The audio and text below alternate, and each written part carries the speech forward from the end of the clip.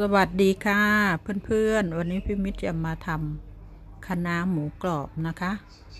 หมูกรอบแบบเร่งรัดนะคะ เร่งรีบนะคะ ก็จะเอาเนื้อหมูเนื้อสามชั้นนะคะ เอาไปหั่น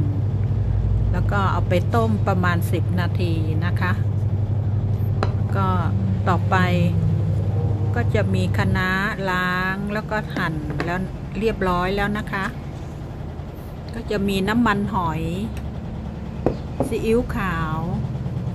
น้ำตาลทรายนะคะ แล้วก็พริกกระเทียม สับเรียบร้อยแล้วนะคะ ค่ะ เรามาเริ่มทำเลยนะคะ ค่ะ ตั้งกระทะค่ะ ใส่น้ำมันลงไปนะคะ จะใช้น้ำมันมาทอด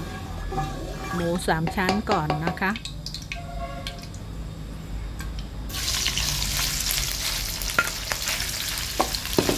น้ำมันร้อนแล้วเราก็จะเอาหมูลงไปเลยนะคะ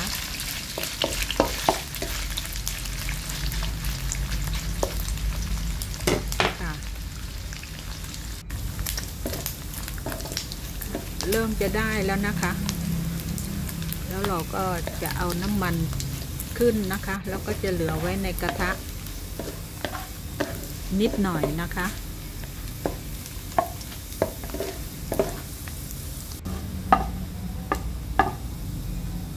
ค่ะ แล้วเราก็จะเอาพริกกับกระเทียมนะคะ ลงไปเจียวลงไปผัดให้หอมเลยนะคะ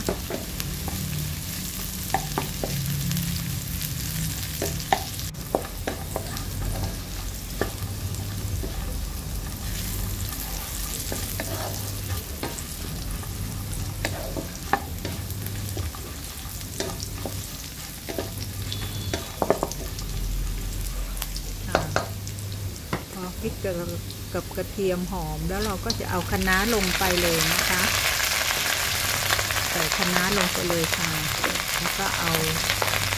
ฝาครอบไว้ก่อนปิดไว้ก่อนนะคะ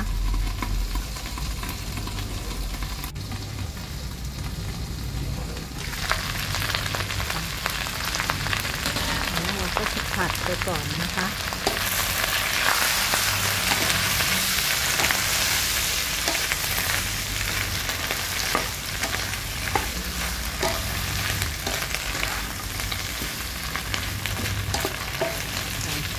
คะน้าเริ่มจะสุก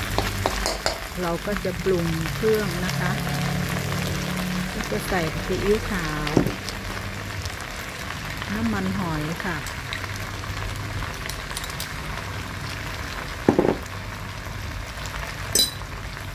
น้ำตาลทรายค่ะ ผงปรุงรสนะคะ แล้วก็ผัดไปเลยค่ะ ผัดให้คะน้าสุกเลยนะคะ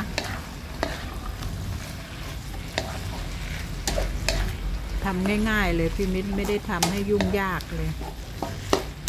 ก็อร่อยเหมือนกันนะคะ เพื่อน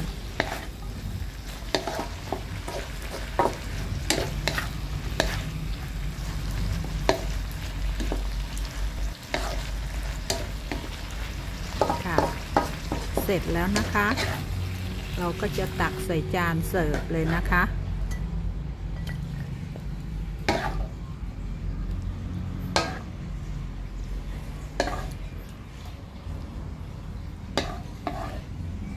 ค่ะ น่าทานมากค่ะ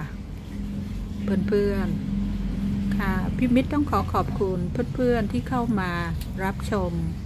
ช่วยกดติดตาม กดไลค์ให้พี่มิตรมีกำลังใจ